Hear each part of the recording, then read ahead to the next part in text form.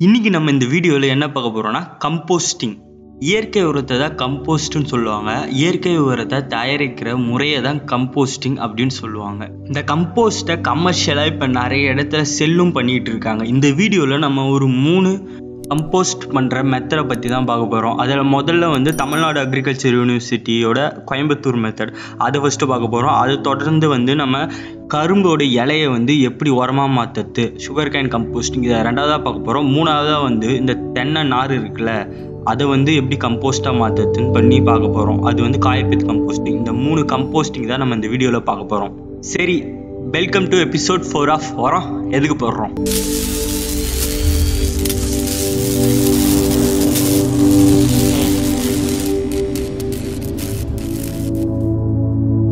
இந்த கம்போஸ்ட்டை பற்றி நான் ஒரு சின்ன இன்ட்ரோ மட்டும் கொடுத்துறேன். இந்த கம்போஸ்ட் வந்து எங்கெல்லாம் பயன்படுத்துகிறாங்கன்னு கேட்டிங்கன்னா இயற்கை விவசாயம் பண்ணுறவங்க வந்து பயன்படுத்துவாங்க. ஆர்கானிக் ஃபார்மிங் பண்ணுறவங்க அது மட்டும் இல்லாமல் வீட்டில் கார்டன் வச்சுருக்கவங்க ஹோம் கார்டன் வச்சுருக்கவங்க இயற்கையாக வந்து வளர்க்கணும்னு நினைக்கிறவங்க வந்து இந்த கம்போஸ்ட்டுங்களை வந்து யூஸ் பண்ணலாம். அதாச்சும் சிந்தட்டிக் ஃபர்டிலைசரை வந்து யூஸ் பண்ணாமல் இந்த கம்போஸ்ட் வந்து யூஸ் பண்ணலாம். இப்படி இதுக்கு டிமாண்ட் இருக்கும்போது நம்மளும் இதை வந்து ஒரு பிஸ்னஸாக வந்து மாற்றிக்கலாம் இப்போ முதல்ல தமிழ்நாடு அக்ரிகல்ச்சர் யூனிவர்சிட்டி அது சொன்ன கோயம்புத்தூர் கம்போஸ்டிங் மெத்தடை பற்றி அப்படியே பேசிக்காக வந்து பார்த்துடலாம் இதுவும் வந்து கிட்டத்தட்ட இந்த தொழு உரம் வந்து நம்ம செஞ்சிடலாம் அதே மாதிரி தான் இதில் வந்து நம்ம அந்த நீண்ட குழியை வந்து ஒன்று வெட்டிக்கணும். அதை வச்சு ட்ரெஞ்சை வந்து வெட்டிக்கணும். நீங்கள் அந்த எஃப்ஐஎம் வீடியோ பார்க்கலன்னா ஐ கார்டில் கொடுத்துருக்கேன். போய் செக் பண்ணி பார்த்துருவாங்க. அப்போ இது உங்களுக்கு இன்னும் கொஞ்சம் தெளிவாக புரியும். ஸோ நீங்கள் இந்த இடத்துலையும் வந்து ஒரு ட்ரென்ச்சை வந்து வெட்டிக்கணும். அதாச்சும் நீண்ட குழியை வந்து ஒன்று வெட்டிக்கணும். இதில் வந்து ஸ்பெசிஃபிக்காக அந்த டைமென்ஷனும் இல்லை. உங்களுக்கு வந்து எவ்வளோ தேவையோ அதுக்கேற்ற மாதிரி நீங்கள் வந்து குழியோட அந்த லென்த்தையும் வித்தியும் வந்து வச்சுக்கலாம் வச்சுக்கலாம். ஆழம் மட்டும் நீங்கள் வந்து பார்த்துக்கணும். ஒரு ஆறு அடி ஆழம் இருக்கா மாரி வந்து பார்த்துக்கணும். நெக்ஸ்ட் என்ன பண்ணணும்னு கேட்டிங்கன்னா இந்த ட்ரென்ச்சை வந்து நம்ம வெட்டிட்ட பிறகு நம்ம எதை எதெல்லாம் மக்கு வைக்க போகிறோமோ அது எல்லாத்தையும் வந்து கலெக்ட் பண்ணி வச்சுக்கணும். மேக்ஸிமம் இந்த ஃபார்ம் வேஸ்ட் எல்லாத்தையும் தான் மக்கு வைக்க போகிறோம் அது எல்லாத்தையும் வந்து நம்ம கலெக்ட் பண்ணி வச்சுக்கிட்டு அதுக்கடுத்து வந்து மாட்டோட யூரின் அதாச்சும் அந்த கோமியத்தை வந்து இது எல்லாத்தையும் கூட மிக்ஸ் பண்ணணும்னு சொல்லியிருந்தேன் கடைசியில் ஸோ அதனால தான் அந்த வீடியோ ஒரு வாட்டி செக் பண்ணி பாருங்கன்ற. இது எதுக்காக இந்த யூரினை வந்து நம்ம இது கூட மிக்ஸ் பண்ணுறோன்னு கேட்டிங்கன்னா அதில் வந்து அந்த மைக்ரோபியல் பாப்புலேஷன் நுண்ணுயிரோட அந்த எண்ணிக்கை வந்து அதிகமாகிறதுக்காக இந்த யூரினை வந்து நம்ம அதில் ஆட் பண்ணுறோம் ஆட் பண்ணிட்ட பிறகு அதை அதை வந்து நம்ம ஒரு லேயர் வந்து இந்த வேஸ்ட்டை வச்சுட்ட பிறகு என்ன பண்ணணும்னா ஒரு பத்து கிலோ மாட்டு சாணத்தை வந்து வைக்கணும். மறுபடியும் வந்து ஒரு லேயர் வேஸ்ட் வச்சுட்டு மறுபடியும் ஒரு பத்து கிலோ மாட்டு சாணத்தை வச்சு வைக்கணும். இப்படி மாற்றி மாற்றி ஒரு லேயராக வந்து நம்ம இந்த குழியில் வந்து ஃபில் பண்ணி ஒன்றரை அடி ஹைட்டுக்கு வந்து அந்த குழியிலேருந்து வெளியில் வர மாரி வந்து பார்த்துக்கணும். அப்படி பண்ணிட்ட பிறகு நம்ம வந்து ஒரு ரெண்டு மாதத்துக்கு வந்து இது ஒன்றுமே பண்ணக்கூடாது. அப்படியே விட்டுடணும். அப்படி விட்டுட்ட பிறகு என்ன பண்ணணும்னா ரெண்டு மாதம் கழித்து அது வந்து ஒரு வாட்டி திருப்பி விடணும். எதுக்காகனா நல்ல ஏரேஷன் கொஞ்சம் கிடைக்கிறதுக்காக இன்னும் மற்ற பாட்டில் வந்து மக்கத்துக்காக அப்படி மக்கிட்டு அப்படி திருப்பி விட்டுட்ட பிறகு மூணு மாதம் கழிச்சு வந்து கம்போஸ்ட் ரெடி ஆகிடும் இது வந்து சிம்பிள் சிம்பிளான ஒரு மெத்தட் இது வந்து நீங்கள் எப்படி கண்டுபிடிக்கலாம்னா அந்த ஸ்மெல் எல்லாமே போயிட்டு இருக்கும். அதில் அந்த மாட்டு சாணத்தோட ஸ்மெல் அதெல்லாம் எதுவுமே இருக்காது.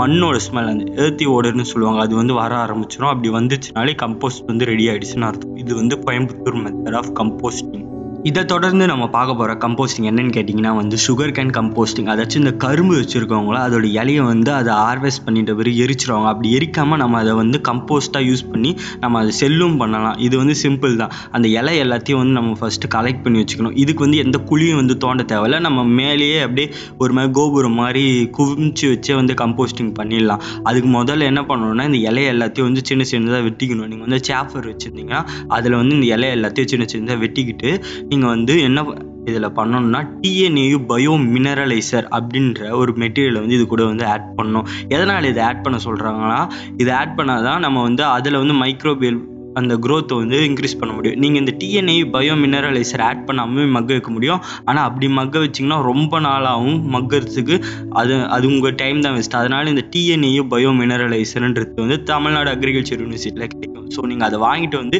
இதில் வந்து ஒரு டன்னுக்கு வந்து ரெண்டு கிலோ இந்த டிஎன்ஏ பயோ மினரலைசர் பயன்படுத்துகிற மாரி இருக்கும்.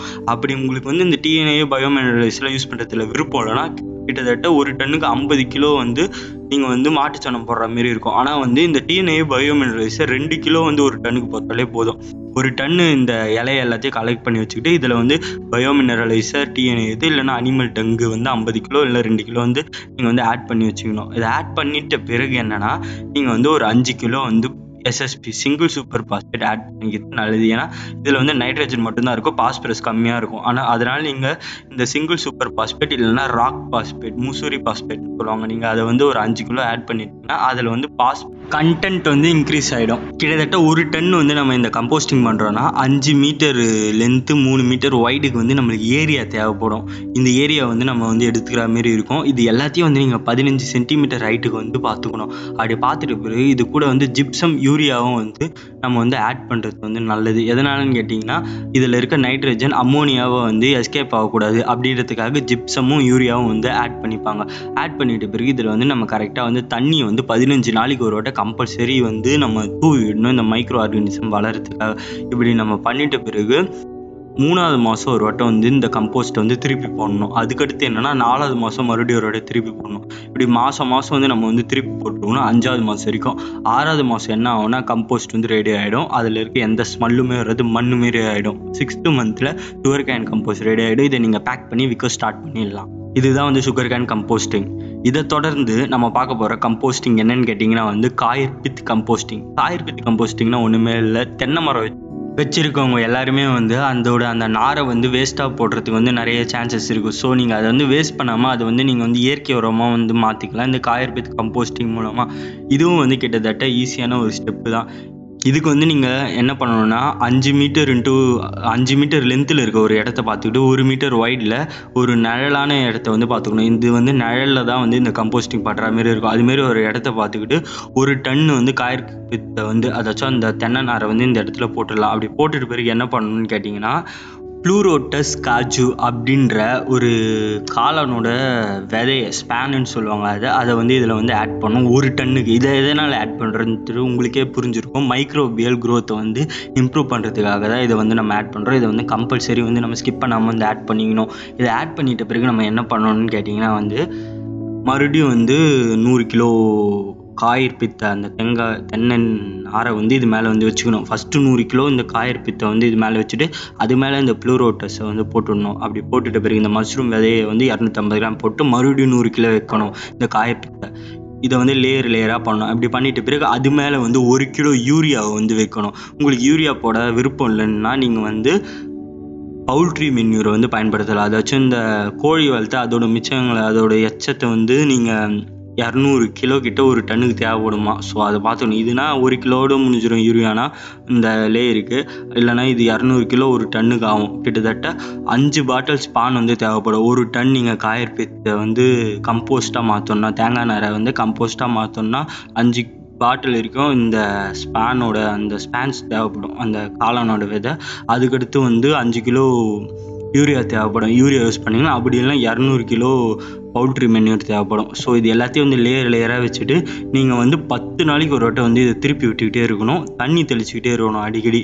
அப்படி பண்ணிட்டீங்கன்னா இது மூணு மாதத்துலேயே ரெடி ஆகிடும் இந்த காயற்பது கம்போஸ்டிங் உங்களுக்கு வந்து மண் வாசனை வந்து வர ஆரம்பிச்சிடும். நீங்கள் வந்து இதை பேக் பண்ணி விற்க ஸ்டார்ட் பண்ணிடலாம். இது தவிர்த்து இன்னமும் நிறைய கம்போஸ்டிங்லாம் இருக்குது எக்ஸாம்பிளுக்கு சொல்லலாம் ஃபேமஸ் வந்து வெர்மி கம்போஸ்ட் இருக்குது ஸோ நான் அதை பற்றி ஆல்ரெடி வீடியோ போட்டேன்.